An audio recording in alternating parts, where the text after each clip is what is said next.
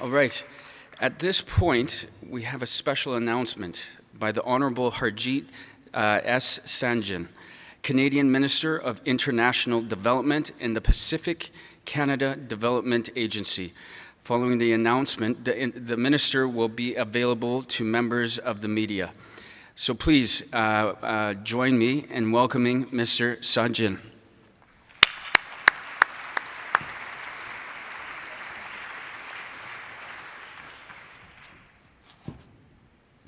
Good afternoon, everyone. I'd like to begin by acknowledging that I'm speaking to you from the traditional territory of the Musqueam, Squamish, and Tsleil-Waututh First Nations. Um, I literally just got off a flight uh, this morning from, from Ottawa, and I'm always excited to be back home. And uh, to come here to speak, it makes it even more uh, even worthwhile. Uh, and I just want to acknowledge the National uh, Chief as well for her uh, remarks. I got to hear them while I was on, on backstage.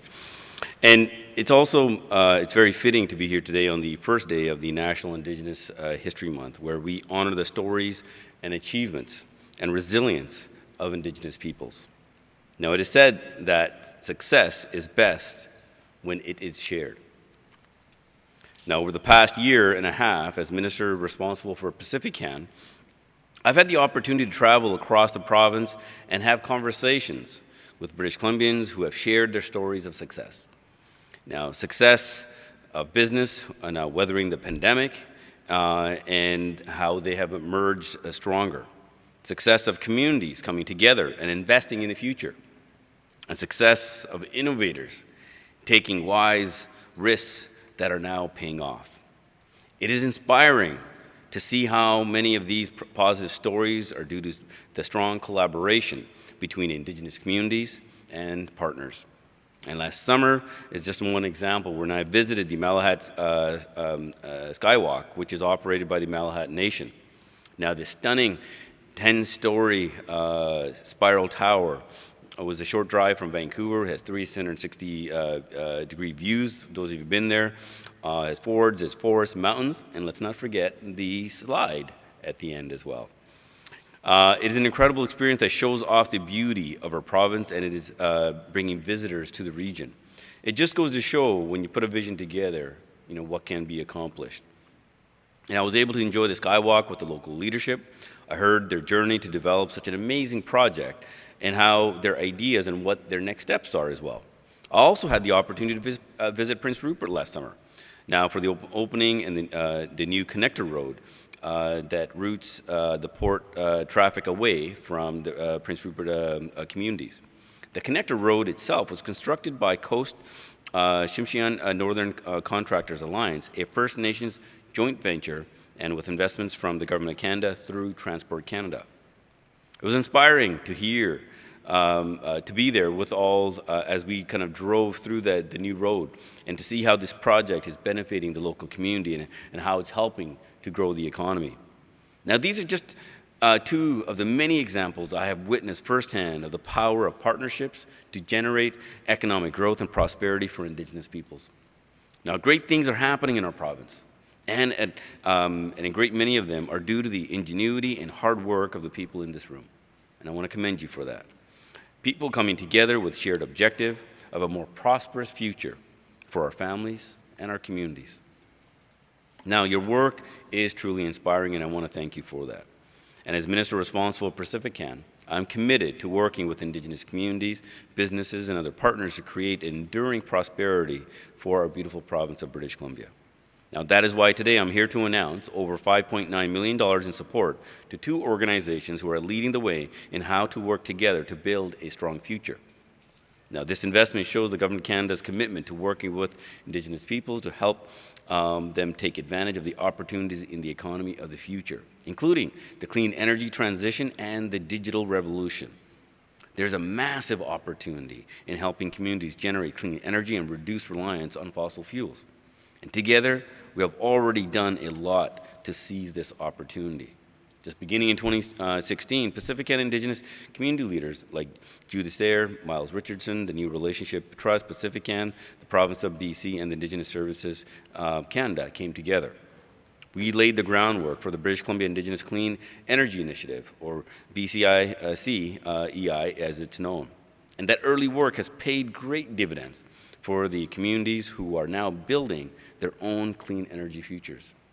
Administered by the New Relationship Trust, the BCICEI supports the development of clean energy projects in First Nations community throughout British Columbia. BCIC uh, EI supports uh, is designed so that local ownership, revenue, revenue generation, employment, and business development benefits are built into the project development uh, process. Funded by PacifiCan through the federal government's uh, strategic partnership initiative, with contributions from the province of British Columbia uh, through the Clean BC plan, BCICEI has delivered $26 million support over 100 clean energy projects in First Nations in BC since 2016. Now, this support has also created nearly 1,400 jobs and reduced enough CO2 emissions to take the equivalent of 128,000 cars off the road for a year. And that's a huge achievement. The project, um, uh, funded by this initiative, have also generated enough clean energy to power over 3,600 homes.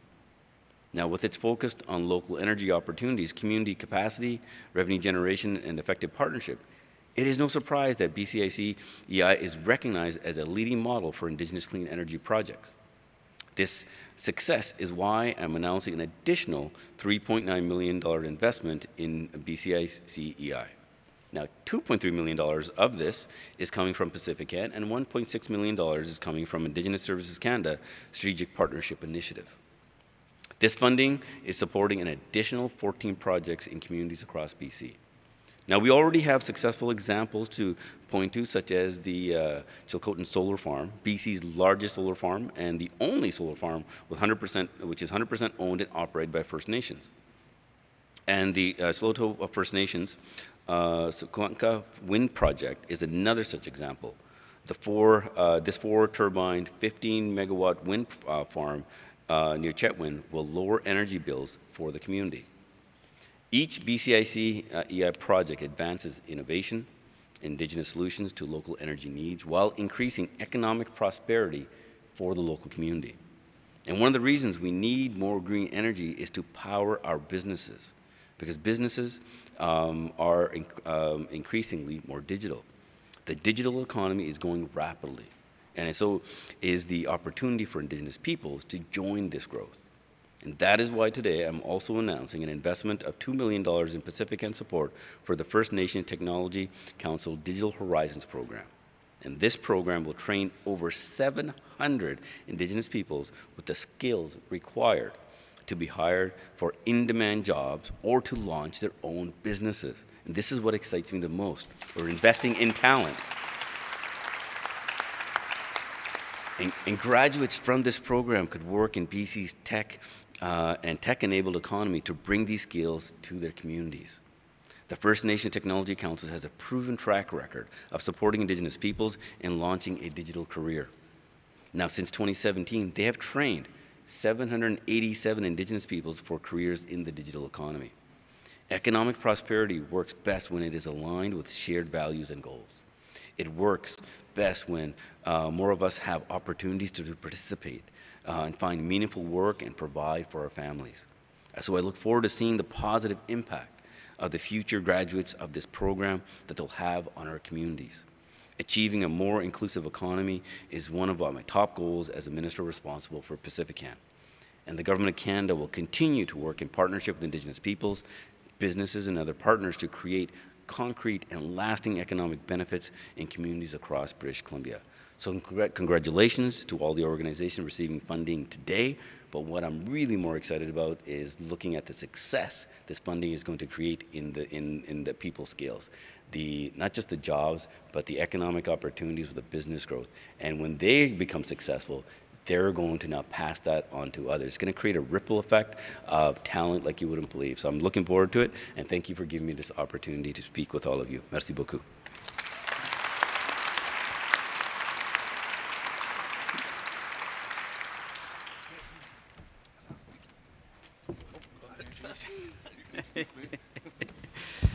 Uh, thank you, uh, Minister Sajjan. Um, I'd uh, now like to introduce Wade Grant, uh, Board Chair, New Relationship Trust. Uh, please give a, a round of applause to Wade.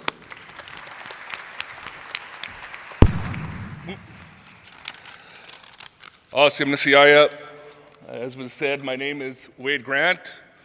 The traditional, name I was given when I was 15 years old at the mouth of the Fraser River in the longhouse of the Musqueam Nation, where I'm from, is Tsal Aquilano, and I am the son of Tahtanot Wendy Grant John and Apolano Howard Grant. I'm also the chair of the New Relationship Trust Board, and I want to thank Minister Sajjan for, for being here today and looking forward to the future of this, this fund. Over the years in administering the BC Indigenous Clean Energy Initiative, the New Relationship Trust has had the honor of facilitating partnerships with the federal government, the provincial government, BC Hydro, Fortis BC, but most importantly, facilitating relationships with over 65 First Nations in the province. Thanks to these partnerships, we've been able to direct more than $20 million in funding to support clean energy projects since the pro project's inception. As I grew up, we always heard that First Nations were always the stewards of the land. We were always the first to ensure that Mother Nature was protected. When you hurt, hurt the earth, you hurt yourselves. And unfortunately, colonization has ensured that we became dependent on fossil fuels and other dirty energy that would create climate change that's impacting our, our nations far too many times. So it's understandable that this program has been significantly oversubscribed each year, receiving many more applications we, than we can actually process. That demand is expected to continue, particularly as power demands continue to grow. And we all seek to decarbonize our energy systems. And this fund is well suited to building energy capacity in British Columbia to address future power needs and Indigenous communities can play a vital role at the forefront of new energy production in the province. The renewable energy power, projects funded by this program over the last years have included hydro, wind, biomass, solar, marine, and geothermal projects, which aim to produce 135,000 megawatts per year. The benefits will resonate in many ways within the First Nations communities as well. For them, sustainable clean energy means self-sufficiency and resiliency in the face of ch changing conditions, cleaner air and quieter communities, better quality of life by reducing dependency on diesel-based electricity for those that live in remote areas. And it also means jobs and training for more than 750 people, not only during construction, but after and ongoing operations for some of these projects. These economic benefits will not only benefit the communities, but ripple throughout their regions. Funded projects are expected to generate some $16 million in revenues. And energy efficiency measures funded through this initiative also help to lower energy bills for, for Indigenous households, resulting in savings of up to $2 million each year. So this program was designed with a life cycle approach to build capacity and bridge the gap in early stage funding for, for clean energy ventures. We are pleased to see this momentum continue with the funding announcement today. The New Relationship Trust looks forward to leveraging and building on the partnerships that it's already created with the Government of Canada to support decarbonization of community energy systems and energizing the clean energy transition that is now underway. As a father of two young children who in the next 10 years will be in their 20s, I look forward to seeing what's new on the horizon as we become leaders in clean energy and providing and giving back to not only our communities, but all of British Columbia. And in my language, Hunkaminam, I say, Height Zap Kasiyam Nisiaya. Thank you so much.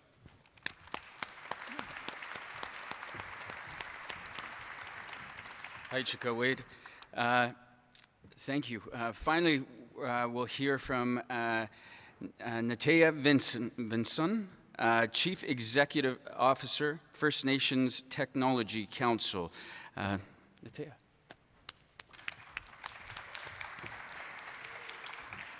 Thank you. Natalia Vincent on Squest, Te Te Kamloops to Squetum, Ace Equim. As the newly appointed CEO of the First Nations Technology Council, I'm so pleased to be here and accepting this generous funding from PacifiCan for our D Digital Horizons project. For those unfamiliar with the Technology Council's work, We are a not for profit sector council whose mandates come directly from the BCAFN, the First Nations Summit, and UBCIC. We provide digital skills training to Indigenous learners and advocate for digital equity, and ultimately enable First Nations individuals and communities across the province to actively, actively lead and shape technology. With this support the, from the Government of Canada, over the next two years, we will train 700 Indigenous students through Indigenous designed and led technology skills and entrepreneurship programs. And I think you got some wrong numbers because we've actually trained over 1,400 students since uh, 2018. Sorry about that. the Digital Horizons project will also build on research from our groundbreaking labor market study designed to understand current and future demand for emerging jobs and required training in tech and tech-enabled sectors for Indigenous people in BC. I encourage you to, to look at this research report that we put up on our website earlier this year. It's kind of a book, it's about 300 pages, so we always joke that it's a book, but if you can get through it or even half of it, I'll, I'll take you for a drink. Um, I want to thank Minister Sajjan and his team for the opportunity to partner together to do this vital work. By taking action on reconciliation and funding Indigenous organizations, Digital Horizons is supporting our work to realize digital equity and ensure Indigenous peoples can influence the future of technology. Thank you.